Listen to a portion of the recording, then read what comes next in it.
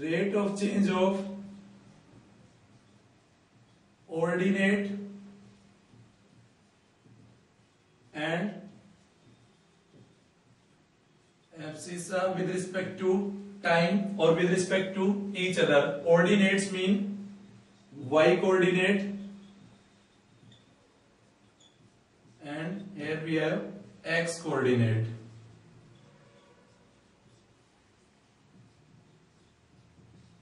For example, consider a particle and the particle is moving along a curve 6y is equal to x cube plus 2.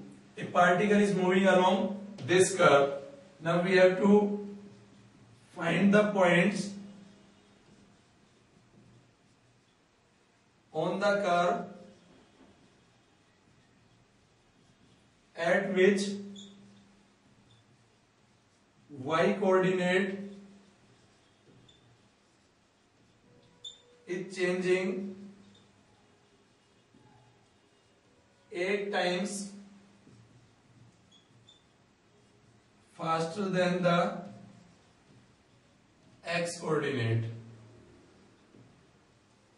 So the equation of curve is 6y is equal to x cube plus 2 and the second condition which is given rate of change of y coordinate dy by dt is 8 times faster means 8 into dx by dt 8 times faster than the rate of change of x coordinate.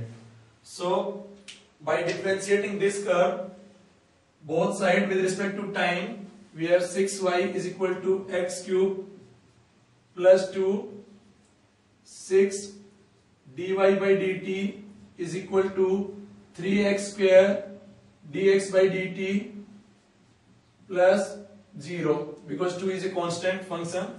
So next condition dy by dt is 8 times dx by dt. So 6 into 8 into dx by dt is equal to 3x square dx by dt. dx by dt will cancel out. So we have x square is equal to 16. This implies x is equal to plus minus 4. Now when x is equal to 4, y, y is equal to 1 upon 6, 4 cube plus 2 which is 1 upon 6, 64 plus 2, 66 is 11.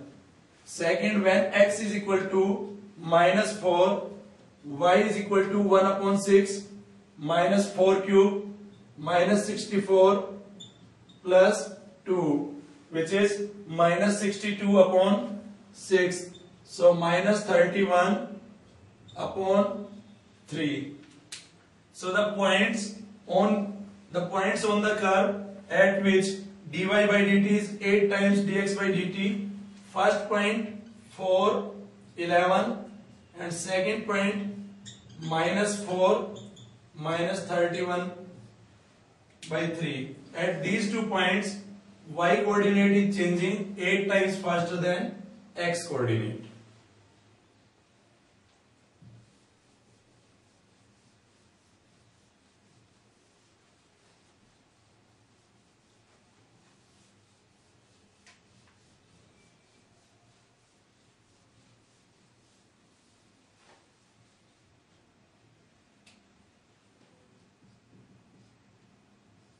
Consider a curve